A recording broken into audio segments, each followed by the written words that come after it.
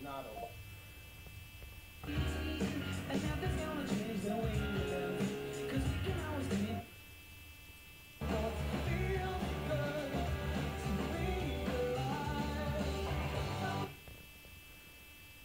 Rising today as concern is that Europe's sovereign debt crisis will derail the global economic recovery. The Dow up 56 at 10,397.